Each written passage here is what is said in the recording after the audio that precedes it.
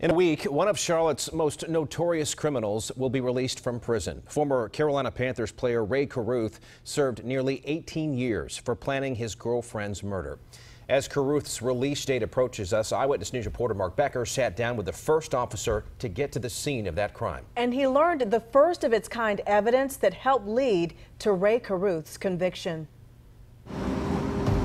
It began as a night at the movies, a football star and his pregnant girlfriend driving to a South Charlotte theater with two tickets to a film called The Bone Collector.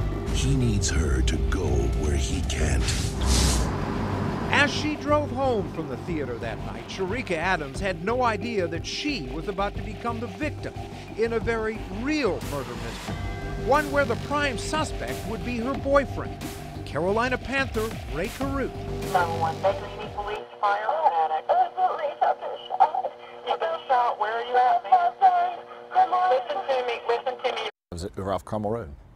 I, I remember exactly where I was. Peter Grant was the first officer to get to Cherica that night.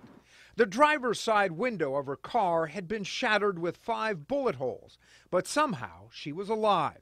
She's obviously conscious, talking. She's in, in somewhat of a state of shock at that point in time. I'm trying to get the information of who she is, and she's more concerned about telling me that her baby's daddy was the one who.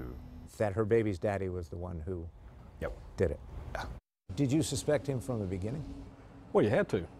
I mean, Cherica Adams called in and said that uh, pretty much named his, him as stopping in front of her, and she believed that he was involved in it. Sergeant Tom Athey led the investigation and they would start by talking with Rae Carruth. First interview, he's, he's basically still the bereaved boyfriend and father, and you know, he's, he don't know what happened. Before they left, Athey casually asked Carruth to see his cell phone. It would be the key to unlocking the case. Right. We knew what numbers he was calling and what numbers was, were calling Rae. That was kind of the first time we ever used cell phone triangulation to pinpoint a location. At first, Carruth had told them he was miles away when the shooting happened, but the towers would tell a different story. You knew he was lying. Oh, yeah.